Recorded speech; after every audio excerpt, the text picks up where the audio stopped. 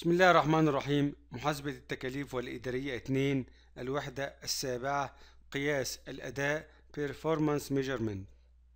محتويات هذه الوحدة أولا قياس الأداء في مراكز المسؤولية اللي هم ثلاثة مراكز التكلفة ومراكز الربحية ومراكز الاستثمار. ثانيا أسعار التحويل وعندي طرق تحديد أسعار التحويل عدة طرق. في طرق تعتمد على أسعار السوق في طرق تعتمد على التكلفة في طرق أخرى. وعندي ثالثا أمثلة تطبيقية. نبدأ بداية مع أولا قياس الأداء في مراكز المسؤولية Performance Measurement in Responsibility Centers. يعتمد قياس الأداء على تحديد مسؤولية تحديد مسؤولية كل وحدة أداء جزئية اللي هي بتسمى مركز المسؤولية وتحديد المعيار المناسب لقياس الأداء. المعيار هنا بيكون تركيز على المعيار المالي مع التعرف على أسعار التحويل.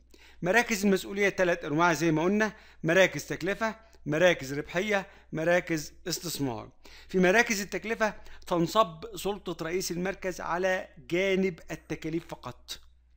في مراكز الربحية سلطة رئيس المركز تزيد شوية تنصب على جانب التكاليف وجانب الإيرادات. في مراكز الاستثمار سلطة رئيس المركز تزيد أكتر وأكتر حيث تنصب على جانب التكاليف وجانب الإيرادات والأموال المستثمرة.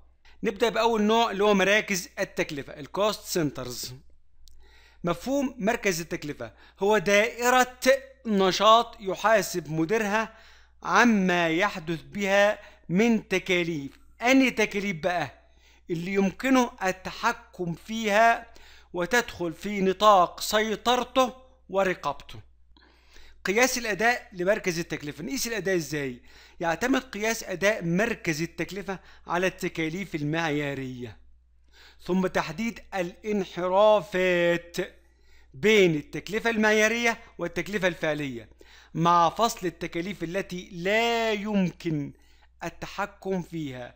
Uncontrollable cost واستبعادها من عملية تقويم الأداء عن التكاليف التي يمكن التحكم فيها. Controllable cost التي تدخل في قياس أداء مركز التكلفة. سؤال أحد الأساليب التالية تستخدم لتقييم الأداء الإداري بمركز التكلفة؟ هل العائد على الاستثمار ولا نسبة صافي الربح ولا فترة استرداد ولا تحليل الانحرافات. لسه إحنا حالا قايلين إن مراكز التكلفة تعتمد قياس الأداء فيها على إيه؟ التكاليف المعيارية. وطالما بقى فيه تكاليف معيارية يبقى فيه تحليل الانحرافات. يبقى ان واحدة في دولت؟ أكيد دال. أكيد الإجابة الصحيحة دال.